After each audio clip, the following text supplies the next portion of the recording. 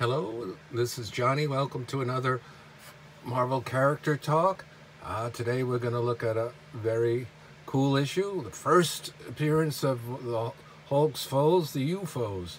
If you'd like, please subscribe, hit that notification bell, and reply. Uh, this one's a nice one to collect. This is back when they were 50 centers. This is all the way back 1980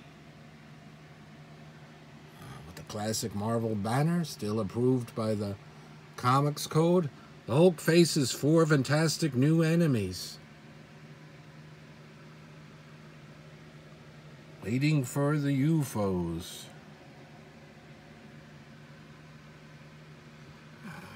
See if I can remember their names. I think we've got Vapor, Ironclad, Vector, and X-Ray. I think that's right.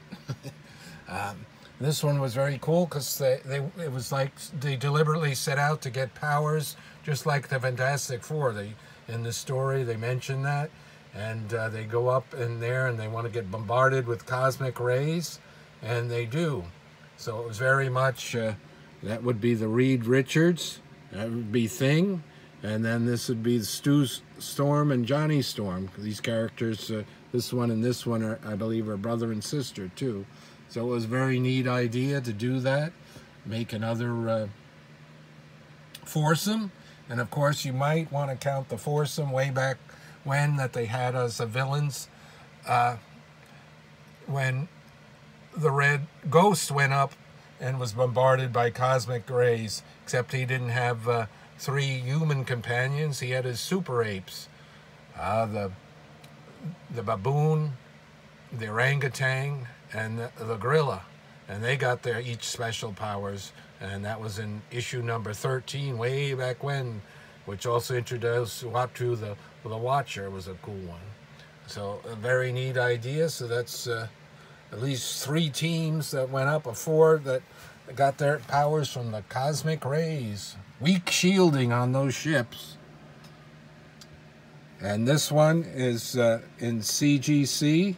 If you can get a 9.8, I've seen a, a high of $769 for a 254. So if you can find this one in a nice shape, send it in. It'll be worthwhile. It'll still be worthwhile in a 9.6, 9.4, even a 9.2. I can get it probably not for that much at your local store or if we ever get conventions again. Uh, until next time, more Marvel character talk. Thanks for watching.